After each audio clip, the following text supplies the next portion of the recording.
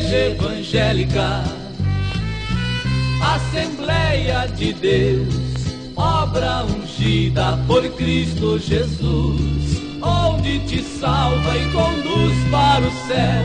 A alma enriquece mostrando a luz, por isso agora vamos levar as boas novas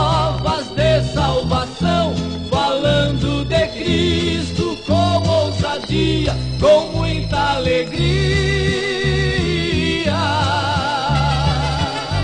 em nossos corações.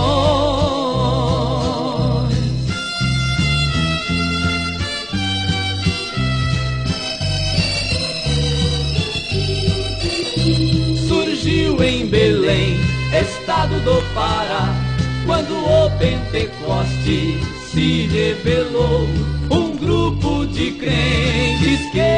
Aclamar a grande obra manifestou. Hoje em todo o mundo, no sul e no norte, houve o furor da fraternidade. Um povo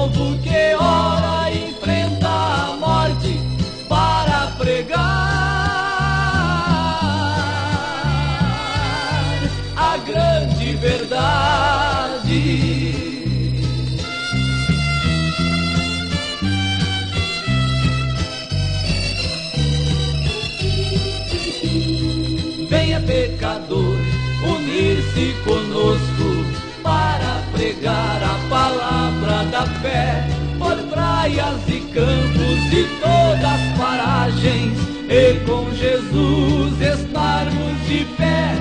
Vamos avante, não recuemos para falar do poder do céu.